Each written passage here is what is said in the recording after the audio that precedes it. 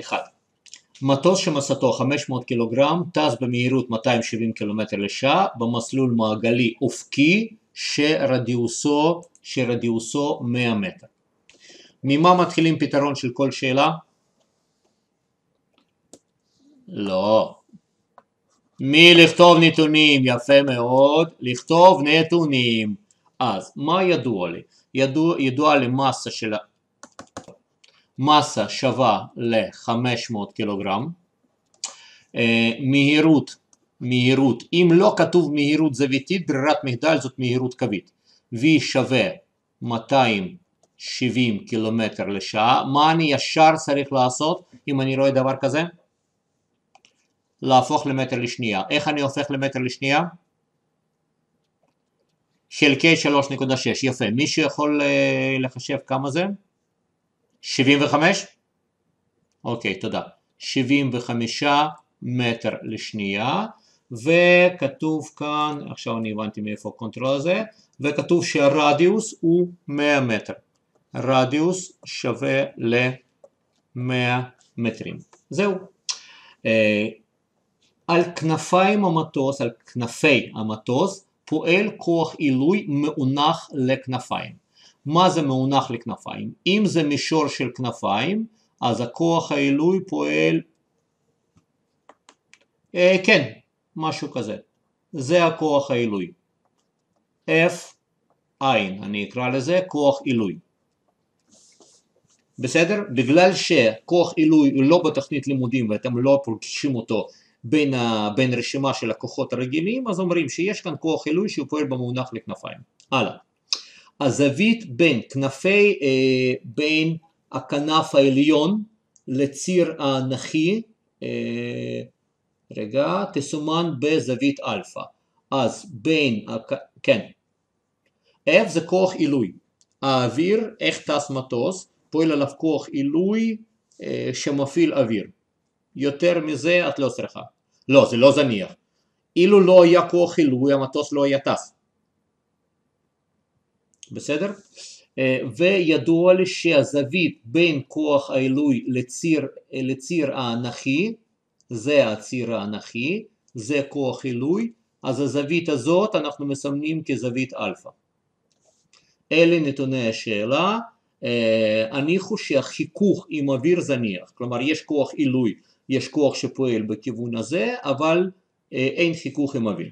שרטט את תרשים הכוחות אה, כוחות של כל הכוחות הפועלים על המטוס. המטוס קפץ לכיוון הזה. אילו גופים פועלים על המטוס? כדור הארץ, יפה. אז בנוסף לכוח עילוי שכבר אמרו לנו שהוא קיים, יש לנו עוד כוח אחד כלפי מטה, שזה כוח שמפעיל כדור הארץ, שאנחנו מסמנים אותו mg. הלאה, אילו גופים נוספים פועלים על המטוס? חוץ מכדור הארץ ואוויר שהוא מפעיל כוח עילוי.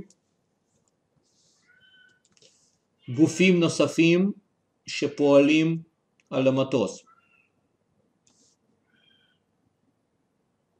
כדור הארץ אמרנו, פרט לכדור הארץ וכוח עילוי שמופעל על ידי האוויר. גופים נוספים? אין גופים נוספים. אם אין גופים נוספים אז אין כוחות נוספים. זהו.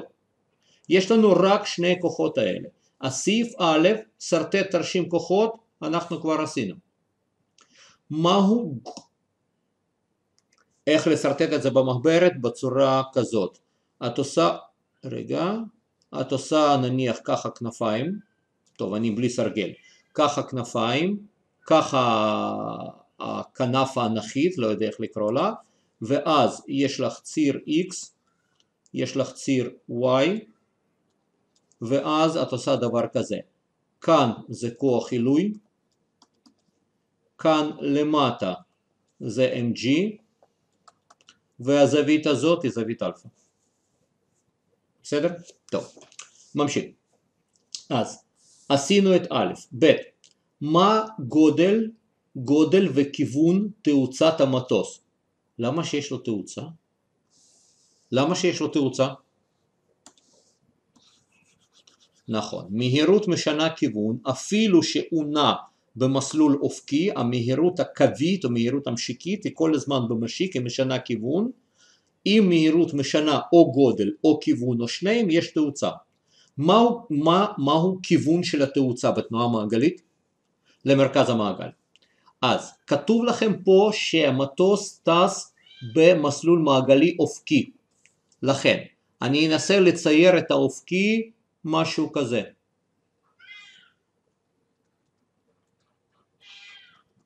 מתי, אה, מתי מטוסים נס, אה, טסים במסלול מעגלי? מישהו זוכר? בפועל.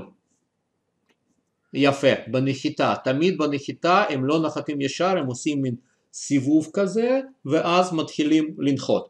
ואז אני חושב שגם בהמראה, לא בטוח, אבל בנחיתה בטוח, ואז בנחיתה תמיד אפשר לראות שאנחנו רואים או יותר שמיים או יותר אדמה, מי שזוכר איך שזה נראה מהטיסות שחוזרות עכשיו. טוב, הלאה. אז גודל וכיוון של תאוצה. אז אמרנו כיוון תאוצה כלפי מרכז המעגל, כלומר אם זה מעגל, זה מרכז המעגל, אז התאוצה היא בכיוון הזה. שימו לב, אני לא משרטט אותה ככוח, כי זה לא כוח, זה לא מתחיל מהמטוס עצמו. זה פשוט כיוון תאוצה כלפי מרכז המעגל. מהו גודל של תאוצה? איך אני יכול למצוא? כן. תקראי בבקשה את השאלה. כתוב כך שהזווית בין הקנה, אה, כוח העילוי, בין כוח עילוי לציר אנכי זה אלפא. טוב, אז כרגע אני רוצה למצוא את התאוצה צנטריפיטלית או תאוצה רדיאלית. מצאנו את הכיוון, עכשיו אני רוצה למצוא גודל. מי יכול לעזור לי? איך אפשר למצוא גודל של תאוצה רדיאלית? לפי נתוני השאלה. נכון, ישר נוסחה. אז תאוצה רדיאלית שווה ל-v בריבוע, זה היה ריבוע, v בריבוע חלקי r. יש לי את כל הנתונים אז אני יכול למצוא תאוצה רדיאלית. מציב ומקבל AR שווה 75 בריבוע, לא 270, מי שלא ימיר יקבל כאן אה, שגיאה, חלקי 100 חלקי 100. אז תאוצה רדיאלית, אין לי מושג 59.25 מטר לשנייה בריבוע. תודה. טוב, 56? אה, מצב קשה. 56, שנייה, נקודה 25 מטר לשנייה בריבוע כלפי מרכז מעגל, מעגל, בסוגריים ראה שרטוט.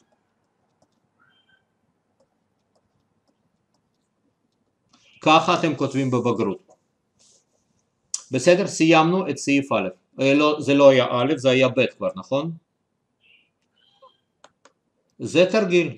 מאיפה? ממאגר שלי. זה לא מבגרויות. סעיף ג' מהו גודל כוח העילוי? מה? איך אני יכול למצוא גודל של כוח עילוי אם אין לי נוסחה, למצוא, אה, אם אין לי נוסחה שמאפשרת לחשב את הכוח? יפה לפי צירים, לפי חוקי ניוטון. אם אנחנו לא יודעים כוח כלשהו, אז אנחנו משתמשים בחוקי ניוטון. אני אכתוב את זה בצבע אחר. טוב, אז נראה.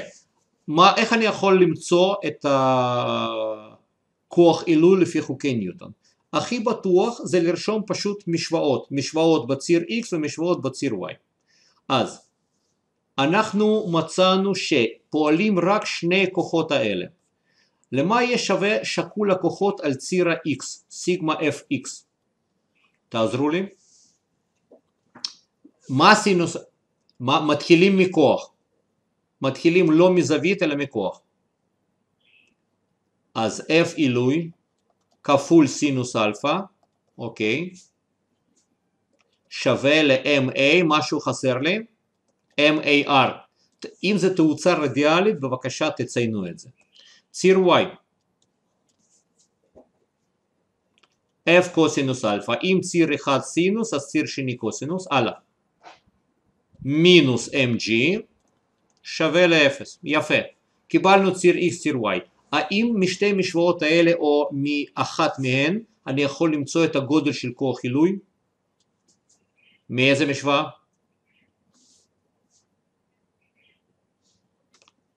נכון מאוד, מציר y. לא, אני לא צריך את שניהם. אלפא יש לי. רגע, אלפא, אלפא, אה, אין לנו אלפא. אז רגע, איך אני יכול למצוא מפה? יפה. אז קודם כל, קודם כל אני צריך למצוא, אה, כדי למצוא מכאן כוח עילוי, אני לא יכול למצוא ישר כוח עילוי, קודם כל אני צריך למצוא את הזווית. איך אני מוצא את הזווית? אני מעביר את ה-mg אגב, ואז מקבל דבר כזה, ש-f קוסינוס אלפא שווה ל-mg, זה בסדר? טוב, שלב הבא, נדמה לי שאני הצלחתי להפתיע אתכם עם הפעולה הזאת, נדמה לי שזה היה אתכם, אני יכול לחלק משוואה במשוואה. איך מחלקים שתי משוואות? לא זוכר, בכיתה כלשהי או אצלכם או בי"ב היו מאוד מאוד מופתעים מזה. אז, אתם, אוקיי. אז אני יכול, אז אני יכול לחלק אגף, אגף שמאלי באגף שמאלי וימני בימני. אם אני מחלק שמאל, כן.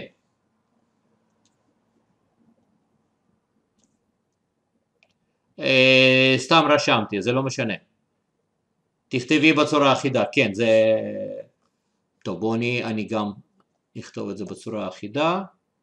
זה... איך אני כותב כאן R קטנה, אז את זה אני צריך לכתוב, למחוק. R קטנה, בדרך כלל זה R קטנה. זהו. אז כאן, אם אני מחלק, אז כוח עילוי וכוח עילוי מצטמצם, מסה ומסה מצטמצמת, ומפה אני מקבל שסינוס חלקי קוסינוס זה טנגנס אלפא, טנגנס אלפא שווה ל-AR חלקי G. ו-AR אנחנו כבר מצאנו בסעיף הקודם, אז אני לא צריך לחשב אותו פעמיים, מפה אני יכול למצוא זווית. למה שווה זווית? בואו נראה, מכאן נובע חישוב טנגנס אלפא שווה AR, AR זה 56.25 חלקי, אה, רגע, חלקי 10 שווה 5.625 יחידות של טנגנס? אין, זה חסר יחידות. סינוס, קוסינוס, טנגנס, כי זה יחס, זה חסר יחידות. אז זה טנגנס, ואחר כך אתם עושים שיפט טנגנס, פונקציה הפוכה במחשבון, 79.91 וזה כבר מעלות. זה התשובה לשאלה האם לעשות במעלות וברדיאנים, כל הזוויות שאנחנו מחשבים זה במעלות. הרדיאנים רק במקרה אחד, אם אתה צריך למצוא מהירות זוויתית, למשל אומרים ש... מטוס אה, עובר זווית של אה, שני רדיאן בחמש שניות, אז שם או משהו מעלות, רק במהירות זוויתית אתה צריך רדיאנים. מצאנו זווית אלפא, ועכשיו איך אני יכול למצוא את הכוח עילוי? מאיזה משוואה? אה, לא, זה כן משנה. אה, נכון, גם במשוואה הראשונה יש לנו R. כן, הייתה שאלה, לא עניתי? כן. 79 לא כדאי.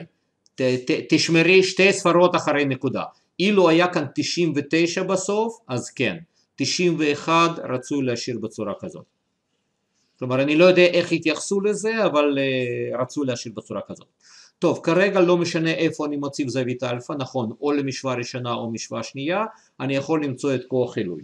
נניח שאני לוקח את המשוואה השנייה, שממנה כוח עילוי שווה ל-mg חלקי קוסינוס אלפא, מפה נובע שכוח עילוי שווה mg מסה זה 500 קילוגרם כפול 10 אז זה 500 כפול 10 וחלקי קוסינוס 79.91 כמה זה בערך? 28,539 מה? טוב, נו, מה? בדיוק, אני רוצה ניוטון. אל תשכחו לכתוב יחידות. אין יחידות, מורידים, לא זוכר כמה אחוזים, אבל מורידים. חבל שאתם, אה, שהציון שלכם ייפגע מזה. אה, זהו, זה אנחנו עשינו, מה אנחנו עשינו? סעיף אה, ג'. אנחנו סיימנו כרגע סעיף ג' בצבע כחול. טוב, גם א' עשיתי בצבע שחור, גם ב' בצבע שחור ג'. אני עובר לסעיף ד'. הטייס מחליט לטוס באותה מהירות, אך במעגל שרדיוסו 50 מטר. כלומר, רדיוס קטן, הוא מנסה לעשות פנייה יותר חדה. האם עליו להטות את כנפי המטוס בזווית אלפא גדולה יותר, קטנה יותר, או ללא שינוי נמקו? אני מס... תקראי שוב את השאלה, הבנת הנקרא. תקראי. תק... נו, ת... תקראי, תקראי. תקראי. תקראי בקול רם. אוקיי.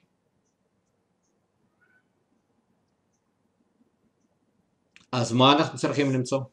על מנת, אה, על מנת לעשות אותו מעגל, אבל לא 500 מטר כמו שהיה במקור, אלא 50 מטר. כלומר הוא מנסה... מה? מה? רגע. שואלים אותך מה האם אלפא, האם זווית הזאת במקרה שהרדיוס קטן, אם רדיוס במקום 500 מטר עכשיו 50 מטר, אז שואלים האם זווית אלפא במצב כזה צריכה להיות גדולה יותר, קטנה יותר, או אותה זווית אלפא. לא, במקום חמש... אה, זה קילוגרם, נכון, סליחה. כן, כן, כן, כן, כן, כן. אתם מתקנים אותי ואני כרגיל לא מגיב, אז בפעם הראשונה זה היה 100 מטר, הנה 100 מטר, ועכשיו זה 50 מטר. כלומר, הם, הם מקטינים את הרדיוס ושואלים האם זווית צריכה לגדול, לקטון או לא להשתנות. רעיונות. תקראו. לגדול למה? הכל למה? כל פעם שאתם אומרים שזה צריך לגדול, לקטון או לא להשתנות תהיו מוכנים שאני אשאל למה. לא, אין היגיון. לא, יש היגיון אתם חייבים להוכיח. אם כתוב, נניח, אם לא היה כתוב נמקו, יכולת להגיד ככה נראה לי לפי היגיון וזהו. אני מזכיר, אפילו תשובה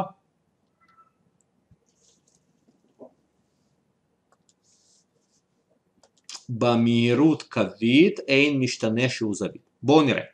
אנחנו, אם שואלים שאלות כאלה, תנסו להסתכל על התוצאות הקודמות. התוצאות, אם אנחנו פיתחנו איזושהי נוסחה, אז אתם תמיד יכולים להשתמש בנוסחה הזאת גם בסעיפים הבאים. מה פיתחנו? פיתחנו טנגנס אלפא שווה ל-AR חלקי G. אני פשוט מתחיל לנתח את הנוסחה. טנגנס אלפא שווה ל-AR חלקי G. בואו נראה. אם רדיוס קטן, איפה מסתתר כאן רדיוס? בתאוצה. נכון. אז אני יכול לכתוב דבר כזה, שטנגנס, טנגנס אלפא, הוא שווה ל-V בריבוע חלקי RG, נכון? רואים, אה, רואים למה R ירד למטה? או שצריך לפרט? ההוא, יפה, בדיוק, זה מה שאני רוצה. המהירות אה, תאוצה רדיאלית זה v בריבוע חלקי r, זה v בריבוע חלקי r וזה חלקי g, נכון? איפה, איפה את רואה m? אנחנו קיבלנו נוסחה כזאת שטנגנס אלפא שווה ל-AR חלקי G כי כאן כאשר חילקנו מסה הצטמצמה אז אני לוקח את הנוסחה הזאת ובמקום תאוצה רדיאלית מציב V בריבוע חלקי R עכשיו, מה זה שבר חלקי מספר? זה שווה v בריבוע חלקי r כפול 1 חלקי g. זה שווה ל-v בריבוע חלקי rg. וזה שווה לטנגנס אלפא. עכשיו זה בסדר? יופי. ועכשיו רואים, רדיוס שלנו גדל או קטן? לפי נתוני השאלה רדיוס קטן, במקום 100 מטר אנחנו עכשיו ברדיוס של 50 מטר. אם רדיוס, רגע, אם רדיוס קטן אז טנגנס גדל. אז אני כותב ככה, אם רדיוס קטן, מפה נובע שטנגנס גדל. אבל איך לפי טנגנס אני יכול לדעת מה קורה עם הזווית? שתי, שלוש אופציות. אופציה אחת שאתם זוכרים שאם זווית גדלה אז גם טנגנס גדל. אופציה שנייה שאתם לא זוכרים, אתם לוקחים מחשבון ומקבל, ונותנים שתי זוויות, לא, לא משנה מה, 30 מעלות ו-60 מעלות, רואים אם זווית גדלה מה קורה עם הטנגנס. ואפשרות שלישית, אני אתמול מצא, כאילו כמעט בטוח שאתם מכירים את זה, אבל אני לא הכרתי, יש תוכנה שנקראת דסמוס, מכירים אותה? תוכנה חופשית, טוב אצלי זה ברוסית אבל היא קיימת, סביר להניח שהיא קיימת גם באנגלית, בואו נראה.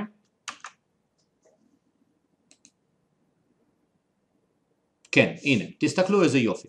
אני כותב כאן פונקציה טנגנס, כן, בטח בעברית הוא מכיר את זה, גם ברוסית הוא מכיר את זה, טנגנס x. הופה, אז אם אתם לא זוכרים ורוצים לראות ככה בשלוף במהירות איך נראה גרף של פונקציה כלשהי, במחשב אני ממליץ להשתמש בזה. תסתכלו, ככל ש-x, x זה אלפא שלי, ככל שאלפא גדלה, טנגנס גם גדל. אז לפי זה אני יכול להסיק מסקנה שגם הערך, הטענה הפוכה נכונה. ככל שטנגנס גדל, זה ככל שטנגנס גדל, גם x גדל. לכן אם אני חוזר למצב שלנו, אם טנגנס אלפא גדל, אז מפה נובע שגם זווית אלפא גדלה. כלומר, התשובה לסעיף ד', התשובה לסעיף ד', שזווית אלפא גדלה. נימוק, זה הנימוק, מה שאני כתבתי בירוק. טנגנס, כמובן, כמה פעמים שאת רוצה, מההתחלה. אה, שואלים אותנו מהו קשר בין זווית אלפא ורדיוס. אומרים אם רדיוס קטן מה יקרה עם זווית אלפא. אנחנו הוכחנו בסעיף הקודם שטנגנס אלפא שווה ל-AR חלקי G לכן בכל הסעיפים הבאים אני יכול להשתמש בנתון הזה. זה בסדר?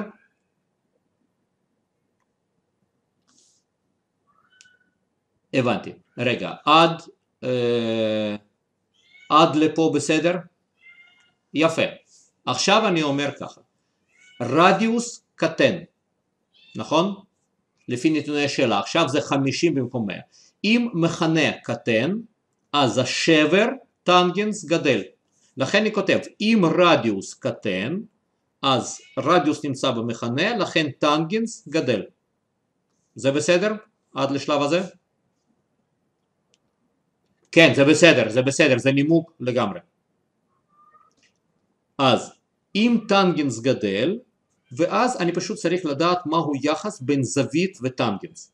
הראיתי את זה בגרף בדסמוס, שאם טנגנס גדל, אז גם זווית גדלה.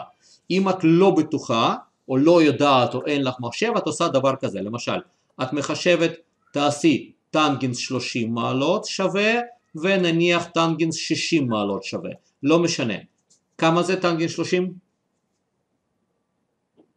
אני בכוונה לא משתמש בשמות כי אני מקליט. 0.5, לא, לא, לא, טנגנס 30 זה לא, זה לא, לא, זה לא, זה לא 0.5. המחשבון שלך במעלות או ברדיאנים? במעלות, טנגנס 30 זה 0.577 יותר הגיוני, אני לא זוכר את זה בעל פה. אז נניח 0.58 אני אעגל, 0.58 וטנגנט 60 מעלות 1.73. מה אני רואה מזה? אני רואה שככל שהזווית גדלה, כי ה-60 היא יותר גדולה מ-30, אז גם טנגנס גדל. כלומר, גם הטענה ההפוכה נכונה. אם טנגנס גדל, אז גם זווית גדלה. קיבלתי שטנגנס גדל לפי הנוסחה, ומפה אני מסיק מסקנה שגם הזווית גדלה. זה מה ששאלו אותנו בסעיף, ג', אה, בסעיף ד'. בסדר? טוב. ממשיך. אה, ממשיך, יש לי עוד חמש דקות. סעיף ה'. סעיף ה' נגמרו לה הצבעים. סעיף ה'. לא, אין, כאן זה, זה קצת מוגבל, אני עושה בתוכנה אחרת. היי, היי, היי, היי, איפה היינו? הטייס מגדיל את המהירות המטוס ללא שינוי בזווית ההטייה, אה, הכנפיים אלפא, האם רדיוס הסיבוב יגדל, יקטן או לא ישתנה. כלומר, עכשיו אומרים שזווית לא משתנה, אבל מהירות, מהירות גדלה, מה קורה עם הרדיוס? מה עושים? נימוק.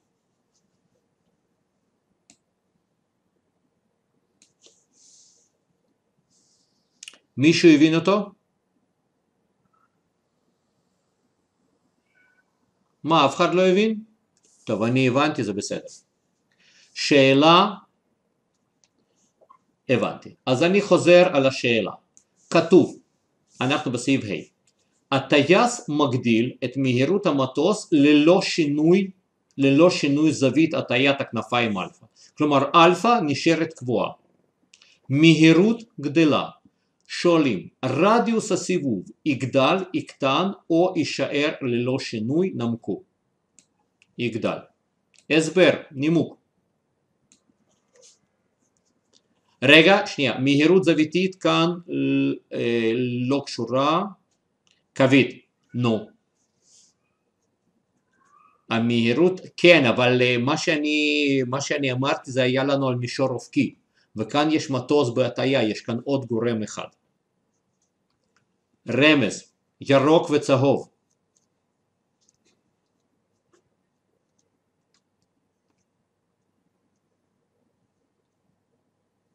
יפה, או יותר נכון מתמטי, יותר, זה נכון מה שאמרת. מתמטית שואלים אותי מה יקרה עם הרדיוס, אז מנוסחה הזאת אני מבודד את הרדיוס. תעזרו לי בבקשה, אני אכתוב את הנוסחה המקורית, טנגנס אלפא שווה ל-v בריבוע חלקי rg. מפה נובע רדיוס שווה. תעזרו לי, מתמטיקה?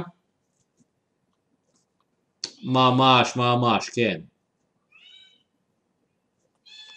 v בריבוע חלקי טן אלפא, טנגנס אלפא כפול g. אני קורא לזה כלל החלפה, אני לא יודע, אה, יש כאן, או, יש לי כאן עוד משהו נחמד, שכחתי צבע. אה, כלל החלפה זה אומר ככה, אם אני צריך לבודד את R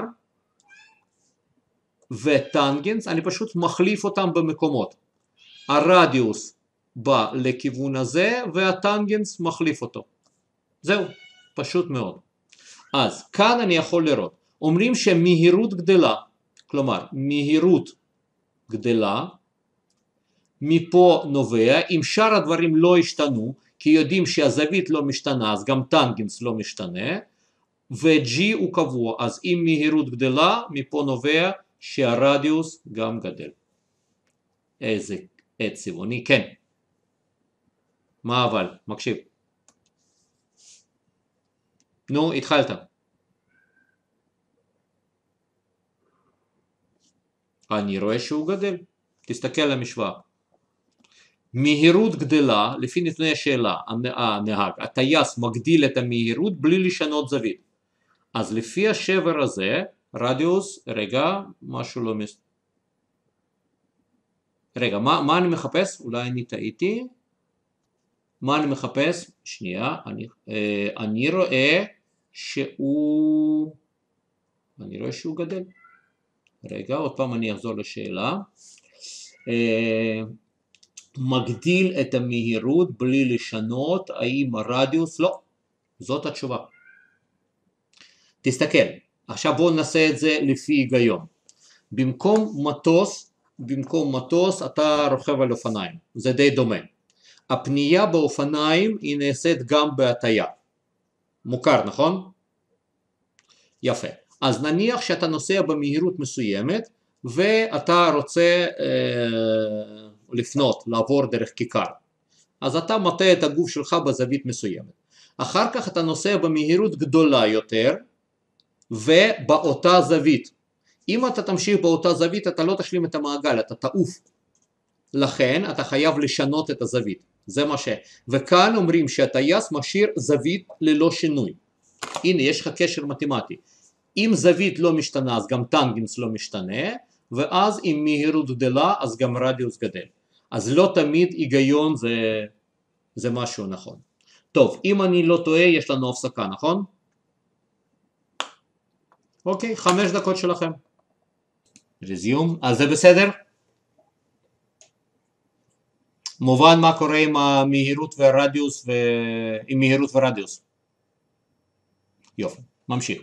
יש שם עוד סעיף אחד נדמה לי. אה, הטייס מגדיל את המהירות עשינו.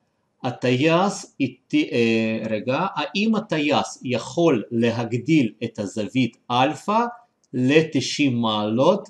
נמק את קביעתך. מצב קשה. בואו נראה, זו שאלת אתגר.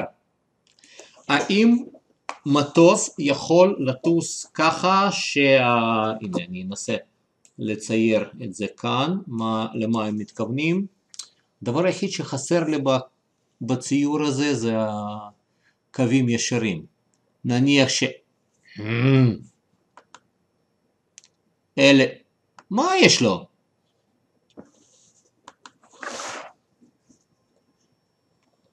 אני מנסה לצייר קו ישר ואני לא יודע איך לעשות את זה. מישהו התנסה עם התוכנה הנחמדה הזאת? אין לי מושג איך לצייר כאן קו ישר, אה, נניח. שאלה כנפיים של המטוס, אלה הכנפיים, כאן זה הזנב שלו, הוא אמור להיות באמצע, משהו כזה, זהו, זה המצב.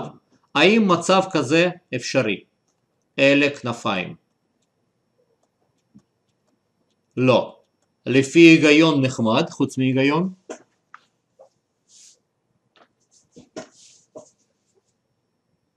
רגע, זה כבר מעניין, אני חשבתי, אני לא חשבתי על אפשרות כזאת, כלומר, את, את אומרת שאם אנחנו קיבלנו ביטוי שטנגנס אלפא שווה ל-A אה, חלקי G, נכון? ובמקרה הזה הזווית אלפא היא 90 מעלות וטנגנס 90 מעלות זה בח"מ, ביטוי חסר משמעות, אם אני לא טועה ככה זה נקרא, נכון? אוקיי, כלומר המצב הזה לא ייתכן. אפשרי, לא חשבתי אבל אפשרי להסביר את זה ככה. בואו ננסה להסביר את זה מבחינה פיזיקלית. אם זה המטוס במצב הדמיוני הזה, מהו כיוון כוח נורמל שפועל עליו? נניח שאנחנו הגענו למצב כזה, שכאן זה כנפיים וזה הזנב. מהו, מה אנחנו יודעים על כיוון של כוח, אה, כוח עילוי, סליחה? מאונח לכנפיים. אז אם הוא מאונח לכנפיים, במצב כזה, כוח עילוי כאילו צריך לעבוד בכיוון הזה. כוחות נוספים? MG, נכון מאוד. טוב, עקום. MG. אז בחם ביטוי חסר משמעות לדעתי, אני לא בטוח ממתמטיקה. טוב, מה, מה מפריע לכם במצב כזה? פיזיקה.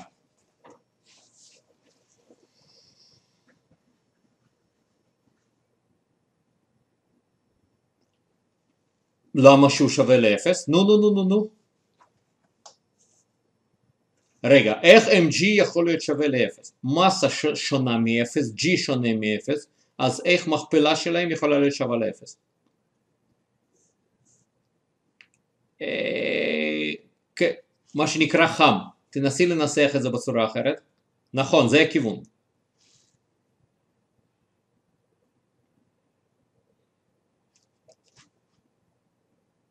יפה, הוא חייב להיות שווה לאפס, תסתכלו, כן. אם אנחנו נסתכל על ציר y, נניח שזה ציר, לא נניח, זה ציר y שלנו, אז כדי, שה, כדי שהמטוס ישלים מסלול מעגלי אופקי, שקול הכוחות בציר y חייב להיות שווה לאפס. ויש לי כוח אחד בציר y לא מאוזן, כלומר אין שום דבר שמתנגד לו. אז אם אין כוח, אז שקול הכוחות בציר y שונה מ-0, אני כותב סיגמה f בציר y לא שווה ל-0. מובן מדוע?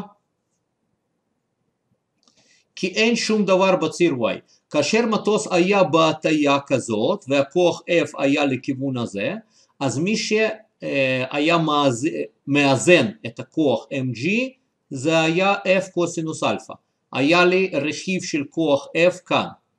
אבל כאן במצב הדמיוני הזה שהמטוס נמצא ככה שהכנפיים שלו בצורה אנכית וכוח עילוי לכיוון הזה, אז כוח mg לא מאוזן.